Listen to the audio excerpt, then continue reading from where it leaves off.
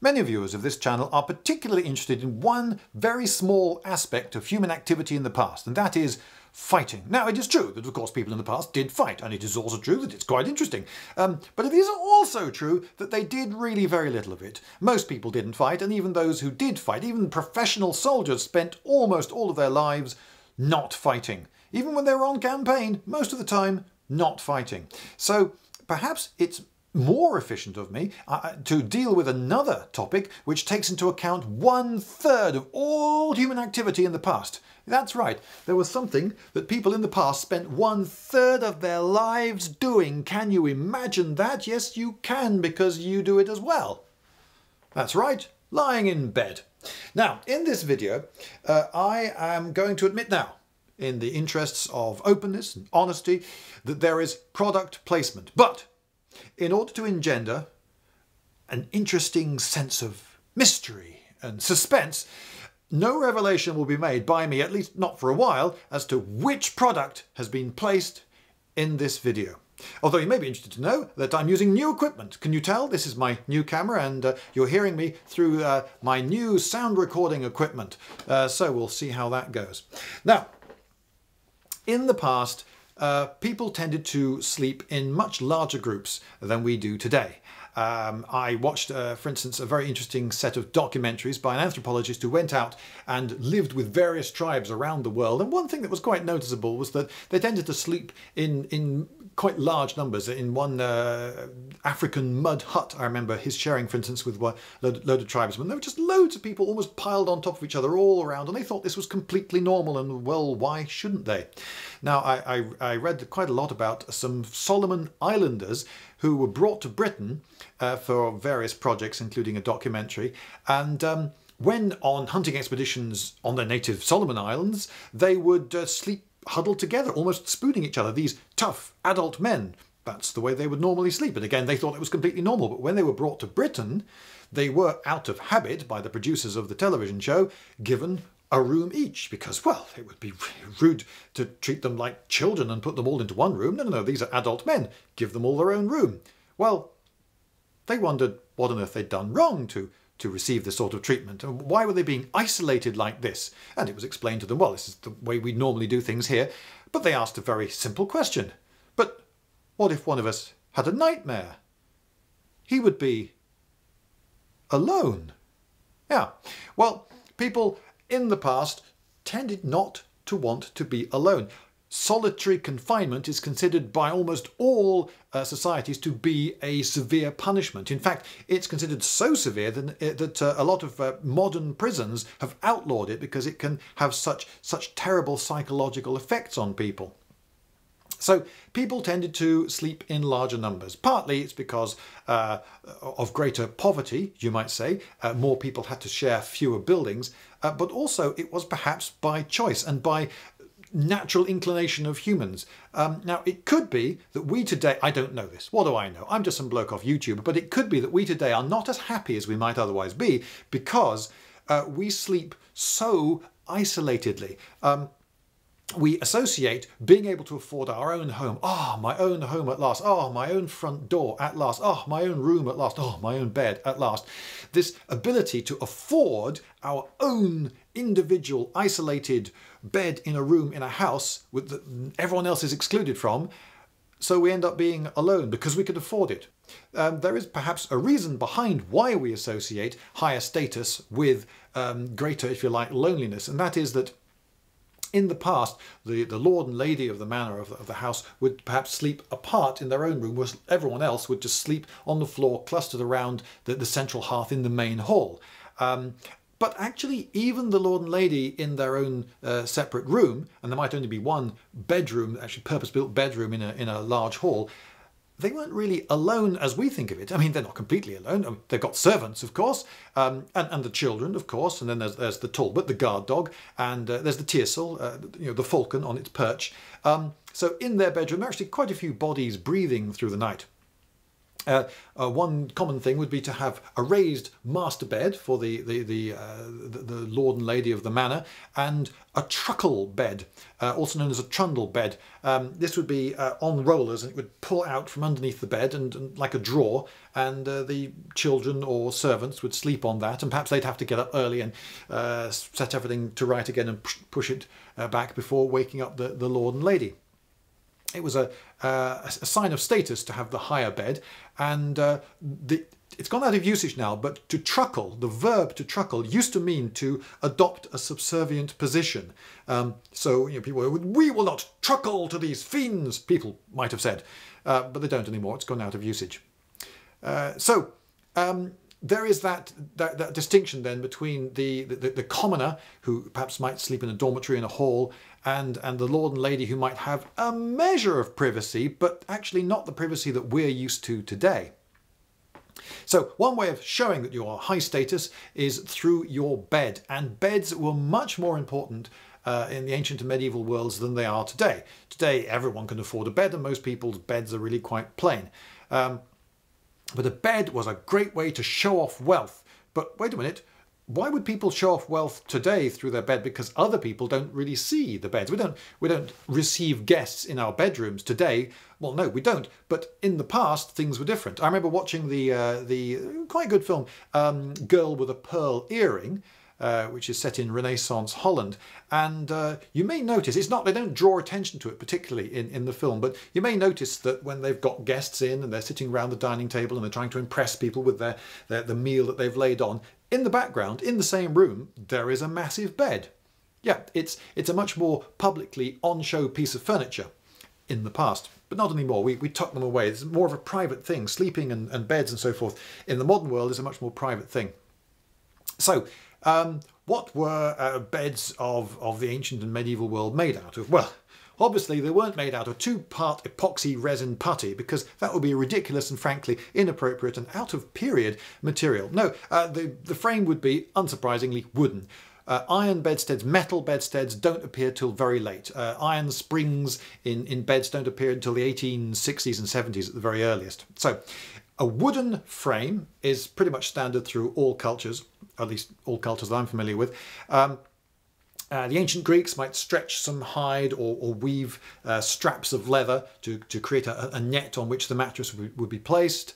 Uh, ropes were extremely common right through to really quite modern times, to the 20th century. So you have uh, ropes going that way, ropes going that way, all pulled tight, and that would form a sort of net on which you, you put the, your, your mattress to, to sleep comfortably through the night. And supposedly, this is an origin of the expression uh, to sleep tight, as in, you know, sleep well, sleep tight, don't let the bugs bite, um, because the ropes were prone to stretching over time, and so every now and then you would have to tauten everything up and tie a new knot in it.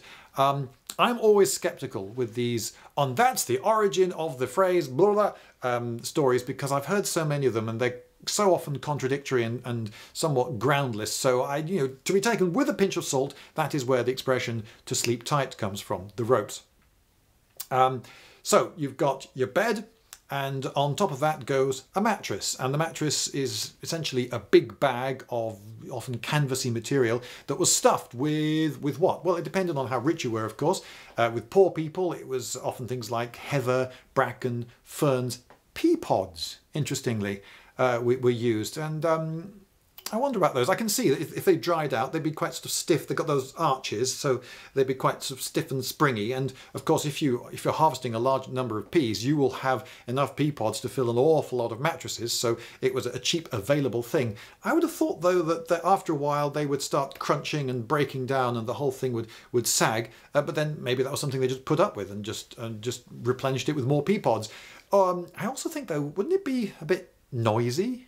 I mean, I assume that these are dried pea pods. You wouldn't use fresh ones because it will all go rotten and horrible. Um, yeah, anyway, so pea pods apparently.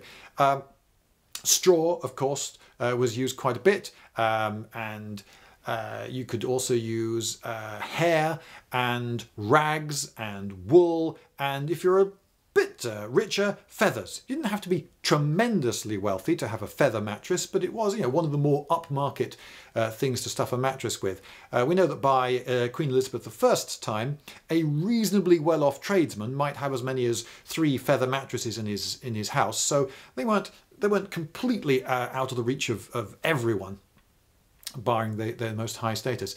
Um, but if you wanted to show off, you could have a fabulously ornate bed.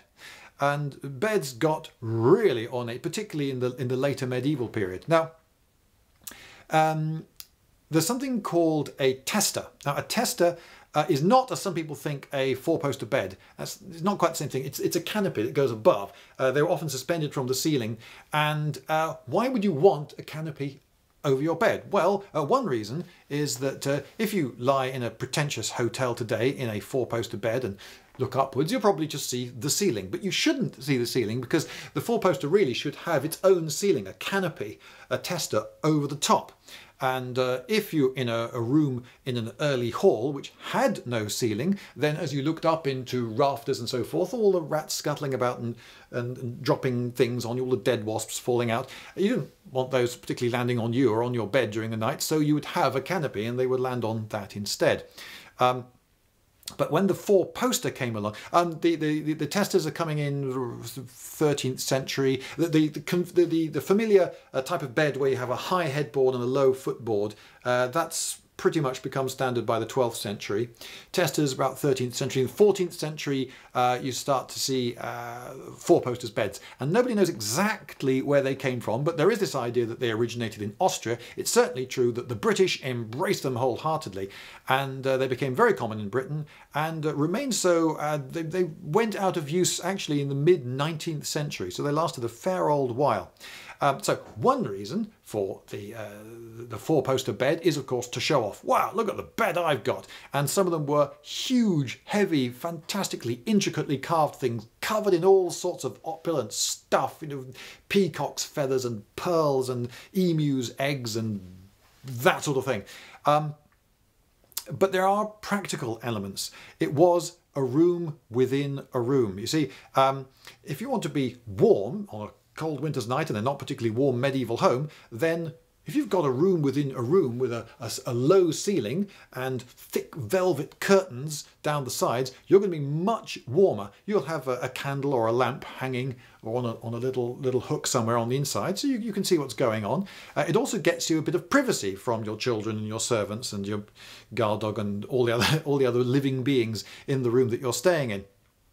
So um, they were a practical thing. They kept you warmer and they gave you some privacy. They were a room within a room. So that was why the four-poster bed became so popular. And um, the, the modern four-poster bed is often uh, just the, the, the, curtains on the corner, the posts are just there for decoration. They might not even reach all the way across. A thick velvet insulating opaque curtain was what uh, the original things would have had. And with with fur trimming to keep the drafts out on the uh, the edges of the curtains. And what fur trimming would you have? Well that would depend on your status uh, if you had something like ermine then whew, you must be pretty regal uh, but if you're a member of the ordinary middle classes you might just have say squirrel fur on the edges of your curtains um, now this was not just enforced by uh, convention and fashion as you might think though it, it was uh, but it goes further than that it was actually enforced by law. Yep, the law stated quite definitely what social rank you had to have in order to use certain kinds of fur trimming. They liked their laws, the people of the medieval world. Now, um, you can show status. Uh, one thing you can show uh, status with is, of course, when you travel. And if you travel, how do people know you're incredibly high status? you take your bed with you. So an awful lot of these high status beds were collapsible and put on the back of a massive wagon and they were then taken to wherever you were going. Um, more modest travellers would still travel perhaps with their own bedding. It's always nice to know that wherever you end up you can uh, get some decent bedding, but you could then have your servants reassemble, if you're a, you know, a, major lord, your bed in the new place that you're going, and this, this bed would have your coat of arms perhaps on it and other things to show just what a great guy you were. And uh, the exoticism uh, went uh, you know, quite far. They, they would use silks from the Far East and so forth. In, in 1348, Isabella, who was wife of uh, Sir William Fitzwilliam, had imported an Indian bed, very ornate, with a load of Indian carpets. So there you go. Clearly, she was a woman with whom to be reckoned. Um, other people went even further, of course. Uh, perhaps the most extravagant of the French kings, Louis XIV, uh, he had 413 massive opulent beds. That's more than one for every day of the year. Uh, so I dare say a lot of them didn't uh, get used by him very much. Still, it's nice to have a few spares for guests. Um, uh, but just to show just how amazing he was, uh, he went a bit further than that and had a bed in Parliament. So as the men of Parliament were standing up and debating the important issues of the day. Uh, they stood on the benches and they, they, they held forth. Uh, there would be, perhaps in the corner of their vision, the king reclining on a bed, listening or perhaps not paying all that much attention to what they were saying. What a guy! What a git! Um, now, um, so you could show status through your bed and you might travel with your bed but maybe if you were traveling and you weren't so high status, you might not be able to afford to do all that and you might have to throw yourself on, on the charity of, say, a monastery. Now, monasteries had a Christian duty to accommodate anyone who needed accommodating, and a lot of people uh, took advantage of this Christian duty and so would show up at the monastery saying, oh, I know, would you believe it, they got caught out in the weather again, and I've run out of money, etc. And uh, so many people did this, in fact, that monasteries typically had a massive dormitory building for this purpose, uh, which would also have a kitchen attached and they could provide food. Uh, of course, you might not necessarily be given the best bed, particularly if you were some lowly beggar type. Uh, so if you wanted um, uh, to be well treated, you needed to know um, just who to be nice, whom to be nice to, and uh, perhaps you know slip a few farthings to. Uh, to get the, the better rooms, the more, the more uh, private, secluded rooms away from all the people coughing. Um, talking of coughing, you might, if you're you're, you're even worse off than, than, than, than that, you might end up in a hospital. Now, a hospital today we think of, of, them as filled with nurses and people rushing rushing around with, with trolleys uh, shouting jargon at each other and machines machines that go beep. But instead a hospital comes from the same root as the word hospitality. They were specifically set up for accommodating people poor people who couldn't afford uh, anywhere else to go. Uh, so if you were desperate you could always turn up at a hospital uh, for a bed for the night although you really wouldn't choose to if you could afford not to, because hospitals were full of ill people and old people and infirm people and lepers and beggars and, and miscreants and, and ne'er-do-wells. So um, you wouldn't, if you ended up in a hospital, things were going pretty bad in the medieval period. But they were there. There was that, uh, there was that charity, uh, if you like, to, to, to catch the poorest in society. Um, and you could, of course, also stay at an inn. Uh, but even at an inn, you might be expected to share a bed, share a bed with perhaps a total stranger. Um, some people went to inns in the hope of sharing a bed with a total with with uh, other uh, businessmen, so that they could, over pillow talk, conduct business. Um, so the world was different. People were, were uh, not expecting privacy in sleeping quarters the way we do today.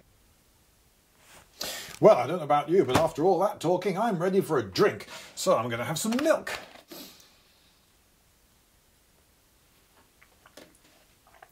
Lanchester Dairies, milk from real cows. Now, after this, I'm going to get a bit random. I hope you don't mind random. It seems that quite a lot of my viewers are quite okay with random, so it'll be a bit random. Now, uh, what did um, people make their sheets out of?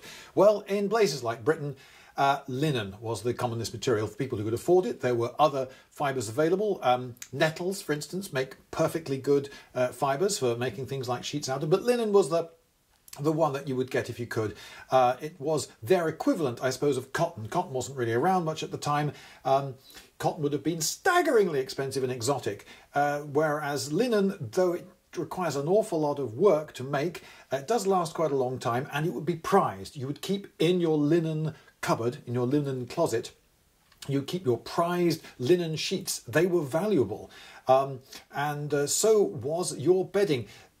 People's possessions we know about from things like auctions and wills and, and, and court cases where things were contested, people's uh, inheritances inheritances and so forth. So we have lists of people's worldly possessions, everything they have, and it's to modern eyes, staggering how important the bed is. It's often right at the head of the list.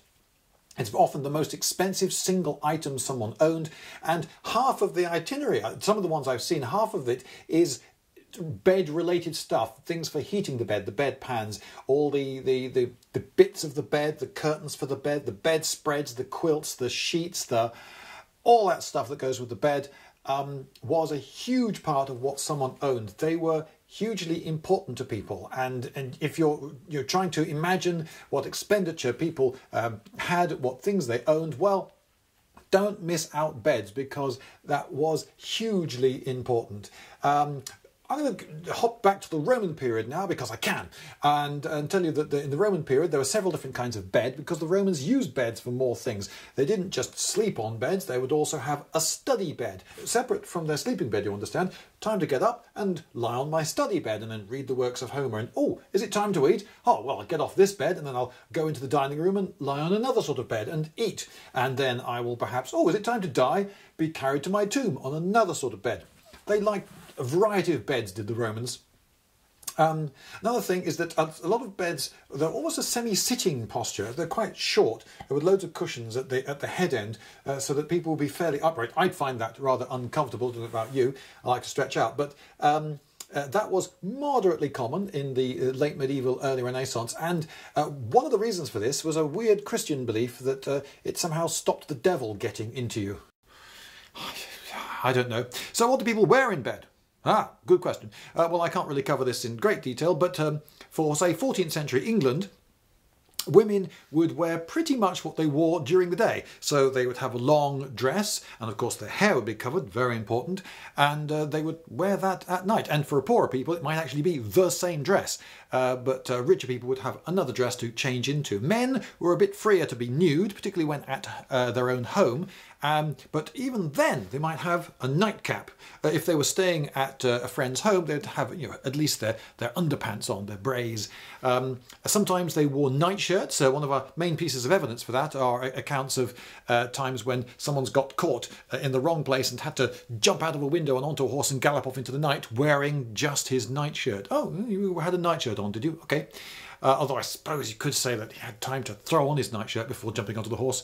Um, literature doesn't always record that detail. Uh, hammocks. I wanted to say something about hammocks. Now, um, I've seen many representations in art of um, ancient and medieval um, settings where you've got a hammock somewhere, particularly on board a ship, because you know it's, it's, natural, isn't it? And you would think, wouldn't you, a hammock? It's a very simple idea. You know, it's a rectangle of cloth, and you string it between two trees or two whatever, and hey presto, you've got something you can swing comfortably on. But actually, there's no evidence for hammocks until explorers got to the new world. And when the conquistadors and people like that saw in South America and Mesoamerica the natives using these hammock things they thought hey that's a, that's a good idea. Do you know what? That might work on a ship too because it would swing with the movement of the ship. Let's try it on the ship on the way home. And uh, it's only then that the, the hammock reaches Europe and it's only after that period that you get uh, hammocks on ships. Uh, I was watching Game of Thrones recently. I know it's a fantasy thing, but it is set. It is, it is based on the real world, even if it's not set exactly in the real world. And uh, in that, there was a scene aboard a ship, and yes, they had hammocks in the background. Mm, sort of wrong. Um, so there you go. Hammocks. I know it's such a simple idea. Um, so we have these itineraries that say that beds were really, really important that people spent an awful lot of their money on them, as well as a third of their lives in them. Uh, today, we're all so rich that we can all afford a, a decent bed, and, and, cotton sheets are very, very cheap. You can get a, a decent cotton sheet for five quid, uh, but a linen sheet back in the medieval period would, would set you back quite a lot of money, so you'd really look after it. Um, and beds could get famous. Oh, yes, how many famous beds? Go on, go on. How many famous beds can you name? Huh? Huh? Right. Well, Soon you'll be able to name at least one. The Great Bed of Ware. Of where? Yes, of where. It's a place in England. Oh, they must have had such fun with that name. You're going to where? Yes, I am. No, to, to where are you going? I know I am. Oh, you see, I must have been just wonderful. Anyway, an enterprising innkeeper at the White Hart Inn in Ware, which is about one day's ride outside of London, had an idea. What if I commissioned the building of a really big bed. I mean, a really big bed, huge bed. And uh, then people in London could, you know, possibly make use of this bed for whatever people in London do with beds. I don't know about what the fancy city folk do, but um, you never know, it might prove popular, and so it did. It is an enormous bed. I say is, you can go and see the Great Bed of Ware. It still exists. It's in the Victoria and Albert Museum in London. Uh, it's roughly square, about 11 feet across. It's in room 57A, I think. And it's hugely ornate with all sorts of carvings of figures and so forth. And uh, they've, they've got a reconstruction of it as well. It shows what uh, what it would have looked like with all, all the original curtains and so forth. Quite uh, quite bright and gaudy. Um, it was colossal and became famous in its day. It's mentioned in quite a few uh, literary texts. Probably uh, it's best known for its uh, mention in the Twelfth Night by William Shakespeare, although all he says about it is an analogy making clear that it was really big, whereas other people show that perhaps it was a little bit more infamous. Um, it would uh, take four couples very comfortably. They could hardly, they didn't need to touch each other, but um, uh, 12 or 15 people sometimes would use this and have presumably quite a good time. And uh, in commemoration of this, many of them uh, carved their names or initials and little love hearts and so forth into the wood and uh, put wax, blobs of wax on it and used their seal ring. So it seems they weren't particularly shy of letting the world know that they had used the Great Bed of Ware. Of where? Yes, of Ware. now, uh, I'm going to uh, just pull this over here. Hang on a second. Uh, oh my god, there's no way I can do this really subtly. Uh, yeah, there we go. And um, yes, now we get to the inspiration for this video. Yes, this uh, was what started all this. Why am I doing a video about beds? Well, because incredibly, and I do find this silly, but there you go. Somebody sent me a free mattress. Yes, that's right, a free mattress, but but but wanted me to do an unboxing video of it.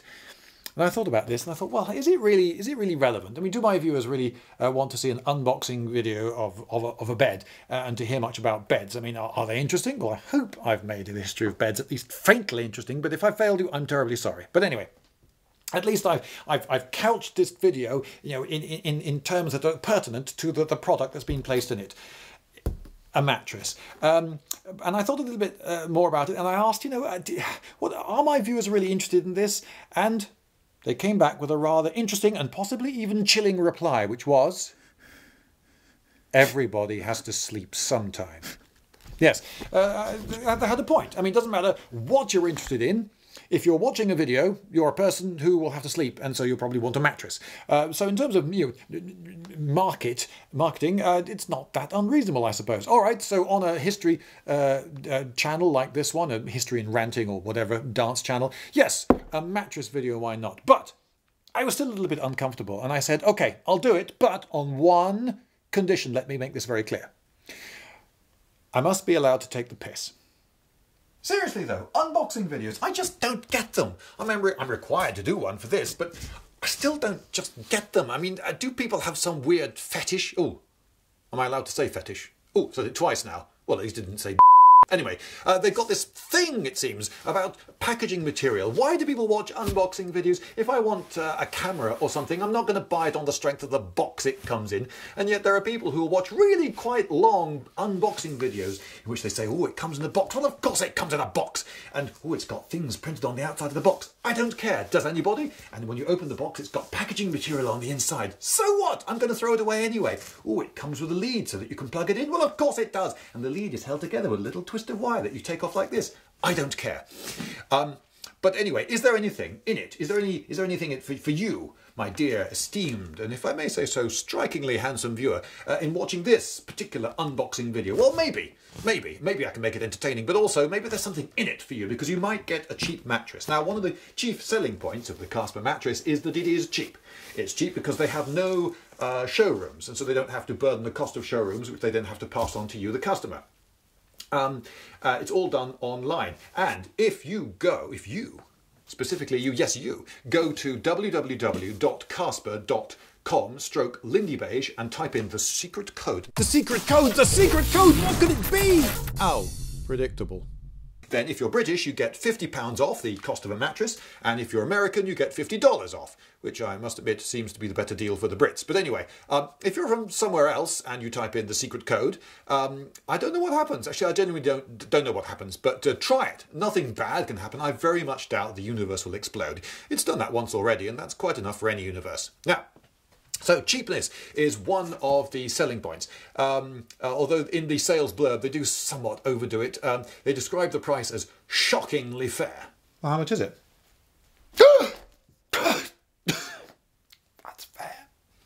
Yeah, they didn't really think that one through. And as for the comfort, as afforded by the memory foam, uh, which gives you the sink, and the springy latex foam for the bounce, uh, they describe that as outrageous. Oh, for God! I... There's just no way I can sleep. I'm just so outraged by how comfortable this mattress is.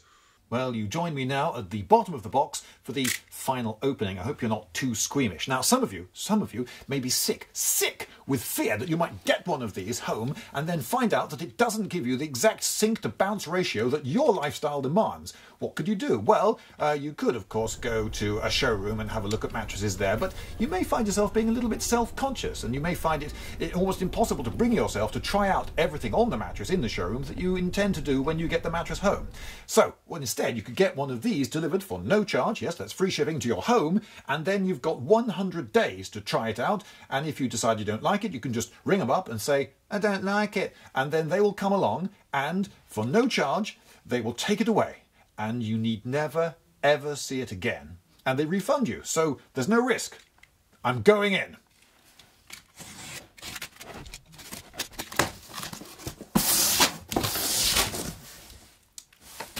It's vacuum packed in an amazingly dense bundle. And whack, there it is.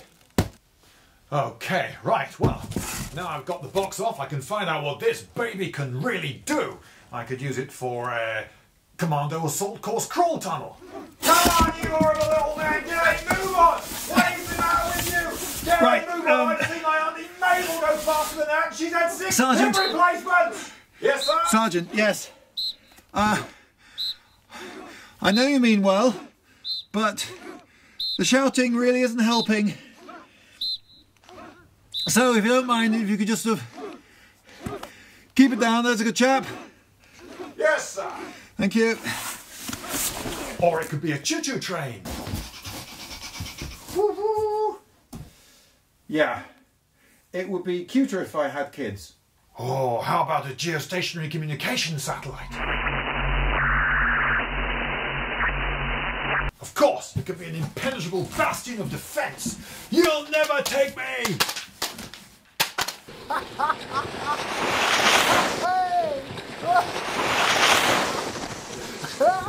I see armour. And gentlemen in England, now abed, shall think themselves accursed they were not here, and hold their manhoods cheap, while any speaks who fought with us upon St. Crispin's Day!